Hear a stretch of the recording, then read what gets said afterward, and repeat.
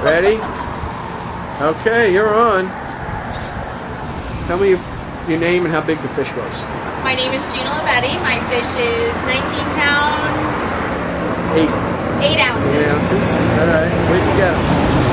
On um, east of Ocean Beach, a couple right. miles off the beach. On a boat, right? On our boat, yes. How many fish did you have? Oh, uh, probably 20. Oh, all right. Diamond jakes? Uh, this was on a diamond jig. All right. Um, the rest of them were on uh, some black um, Good, swim good. sheds. Great. Cut.